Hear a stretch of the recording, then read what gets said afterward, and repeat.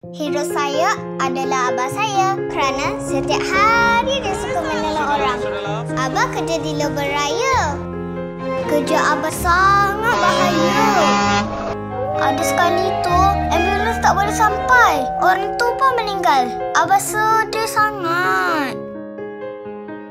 Ina sayang abah. Ina nak jadi seperti